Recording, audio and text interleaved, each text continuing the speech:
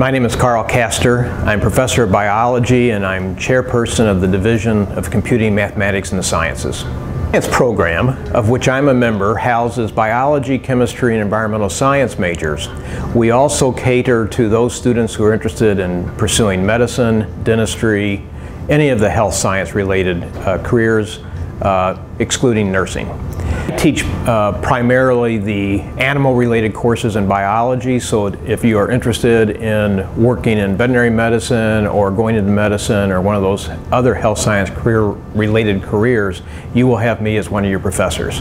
Uh, I earned my PhD from the University of Louisville. I've been at Siena Heights University for 30 years, uh, teaching animal courses, and I have, during those 30 years I have been chosen by the students as Outstanding Teacher of the Year twice regards to our biology courses, uh, a typical science course meets three times a week um, and with one uh, multi-hour lab per week.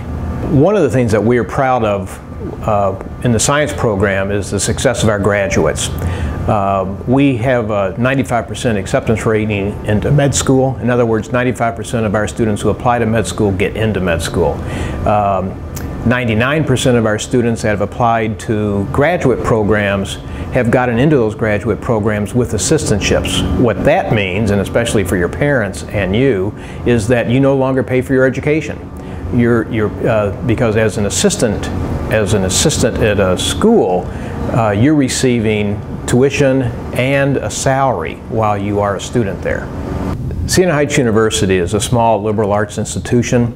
Uh, but just because we're small doesn't mean we are rigorous, uh, and especially in the sciences. We would not have the acceptance rates that we have into the health-related schools and the graduate programs if we were not rigorous. Uh, we will know you. Uh, we will, you will be called by name. Sometimes it will embarrass you, but nonetheless, we will know you. You will not be a number here.